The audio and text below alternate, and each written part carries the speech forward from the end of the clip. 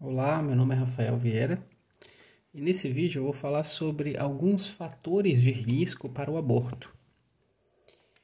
Então, o primeiro deles, talvez o mais conhecido, é a idade. Então, o que, que a gente sabe? A gente sabe que mulheres, com o avançar da idade materna, elas aumentam a chance do aborto. Para vocês terem uma ideia, mais ou menos funciona assim a estatística mulheres com 40 anos elas têm podem chegar a ter até 40% de chance de aborto.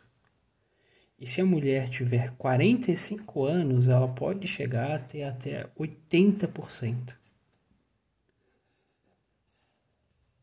Então, a idade materna é um fator muito importante na um fator de risco muito importante para o aborto.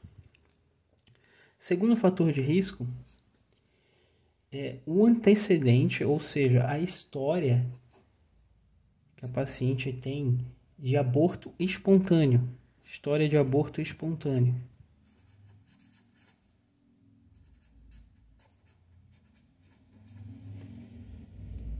Que isso vai aumentar se a paciente tiver duas ou mais perdas. Tá? Aumenta caso a paciente tenha após duas ou, ou mais perdas. Um terceiro fator de risco é o tabagismo.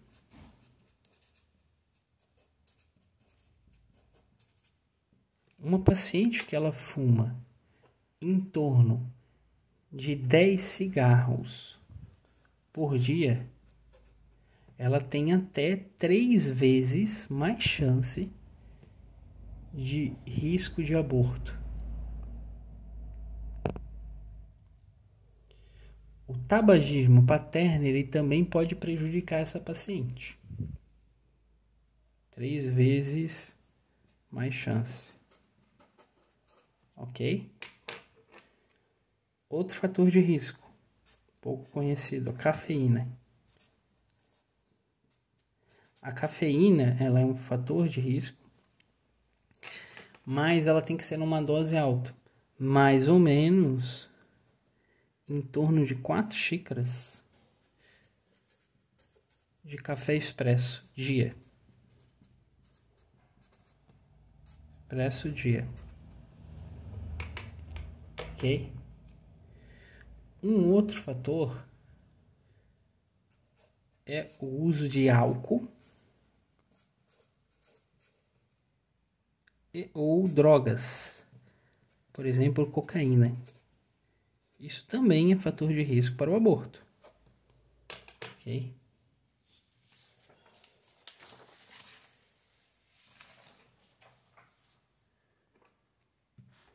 Outro fator de risco, uma paciente que ela tem uma nova gestação, nova gestação, nos primeiros três meses após o aborto.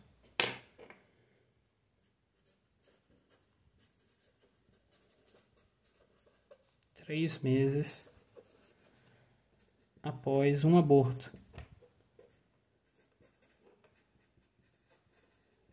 Por isso que o médico sempre recomenda a paciente que acabou de ter um aborto de uso de algum método contraceptivo, porque é um fator de risco. Outro fator de risco é, são os extremos de peso. Extremos de peso.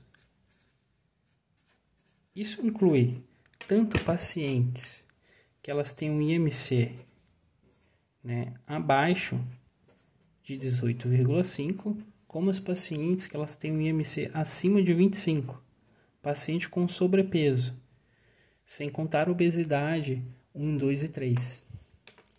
Então esses são os fatores de risco que eu trouxe. Quem gostou se inscreve no canal. Até mais.